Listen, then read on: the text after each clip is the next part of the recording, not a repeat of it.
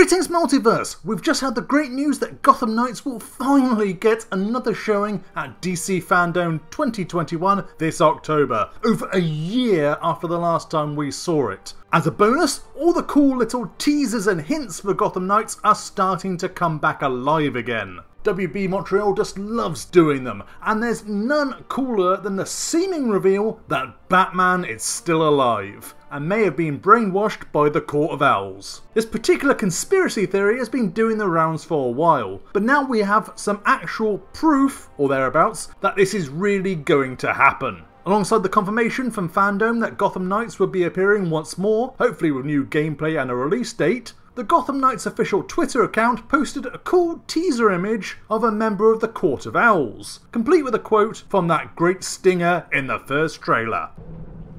No one talks about them. Not a whisper word is said.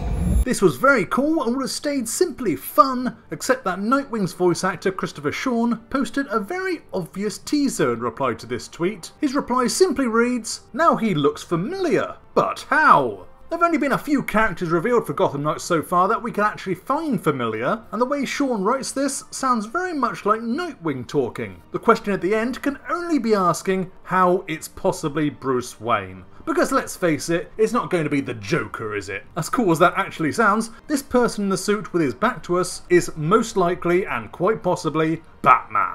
The reason the theory that Batman is still alive and has been kidnapped and brainwashed by the Court of Owls is such a compelling one is twofold. Number one, comic book lore clearly states that if we don't see a character die or if there's no body, they're still alive. And doubly so if it's Batman. Number two, it would be a really cool twist if the main adversary of the Bat family throughout the game is Batman himself perhaps disguised as Talon or Owlman. It would just work so well thematically. And that's not all the evidence we have either. At the same time that Christopher Sean was blowing our minds, his fellow voice actor, Michael Antonakos, who plays Batman Bruce Wayne, posted a video of himself on Instagram hanging around a recording studio for no revealed reason, wearing a Gotham Knights t-shirt. Assuming this is not just one massive big coincidence, I think not!